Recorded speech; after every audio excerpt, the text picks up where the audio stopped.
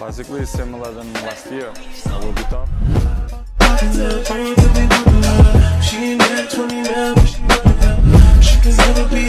She